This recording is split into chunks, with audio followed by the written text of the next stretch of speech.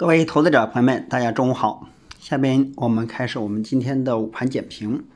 首先来看一下今天到中午为止的亚太地区的走势。亚太地区走势呢，到上上午走完之后呢，多数实现下跌。涨的比较多的是斯里兰卡、越南胡志明市以及新加坡。跌幅较大的是韩国、泰国、印尼、雅加达、印度。马来西亚上午走完之后呢，是跌了三点八八，跌幅在零点二四。其实，在早盘结早盘讲解之后呢，就跌破了这个黄线，之后呢有反弹尝试回到黄线之上，但是最终呢还是没有没有能够站住。下午呢，我们需要看它是否能够突破这个黄线。如果没有突破黄线的话，今天收阴线基本就已经定了。从目前角度来看的话，它还是在这个阳烛一六三三以上，然后今天的最低到一六二九，所以说今天如果收盘还收在一六三三以上还是可以的。如果跌破一六三三的话，就不好玩了。然后前边这边有跌过两天，然后出现上涨啊，所以说这一次也是跌两天，明天啊，也就是下礼拜一呢就必须要起，否则的话就走弱了。接下来我们看一下趋势和资金的状况。从趋势角度来看呢，上涨动能减弱，庄家呢今天有明显的减少。接下来我们就看一下截止到中午的盘面特征。马股最终收于一六三一点八三，下跌了三点八八，跌幅在零点二四。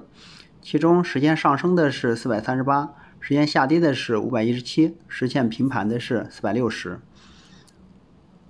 然后从行业的走势来看，啊，我们看到大多数行业都实现了下跌，目前还在上升着的是 telecommunication、technology、construction、industry product and service、consumer product and service，降幅最大的还是 technology。其次是 telecommunication，然后跌的行业更多一点啊，下跌较大的是 real estate、investment trust 以及呢 energy 跌零点五零，然后 financial service 跌的比较多，跌零点七。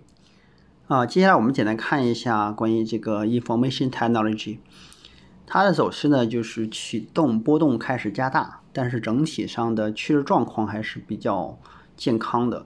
出现了量价齐升的状况，涨幅较大的零一五四、零零六零、五一零七，然后七零三一、五零三六。那零一五四呢，就是个反弹；零零六零也是个反弹；五一零七呢，就有反转的迹象；七零三一呢是大牛股；五零三六呢基本上是刚刚翻红；五一九五呢连续上涨，今天散户消失。零一二零呢一直保持着强势的上升，零零四三呢就是一个反弹，零零九零的话还是比较强的。然后我们再来看一个 financial service，